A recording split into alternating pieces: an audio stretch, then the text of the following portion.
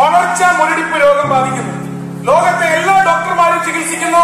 ഈ കുഞ്ഞ് ഒരു ഇഞ്ച് പോലും വളരില്ല എന്ന് പറയുന്നു. പക്ഷെ അവന്റെ മാതാപിതാക്കൾ അവനെ അവനെ സങ്കടമാണ് സ്വന്തം കുട്ടി ഗ്രൗണ്ടിൽ കുഴഞ്ഞു വീഴുന്നു. അവന് ഇനി ശാരീരിക വളർച്ചയില്ല എന്ന് ഡോക്ടർമാർ തീരുമാനിക്കുന്നു. ലോകത്തെ എല്ലാ ഡോക്ടർമാരും ഒരേ സ്വരത്തിൽ പറയുന്നു. നിങ്ങൾ ഇവരെ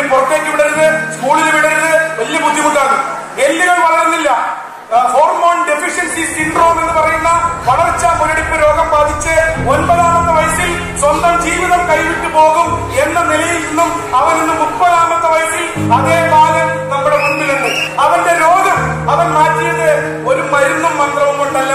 അവന്റെ രോഗം മാറ്റിയ ഔഷധം എന്ന് പറയുന്നത് അവന്റെ സഞ്ജീവനി എന്ന് പറയുന്നത് ഫുട്ബോൾ ആയിരുന്നു. അവൻ കളിച്ചു. ഡോക്ടർമാർ ഡോക്ടർമാർ ഇവനെ കളിക്കാൻ ഗ്രൗണ്ടിൽ വിട്ടാൽ ഇവൻ ആകെ തകരാറുണ്ടാവും. കുഴപ്പമാകും. പക്ഷെ അവനെ കളിക്കാൻ വിട്ട ആ മാതാ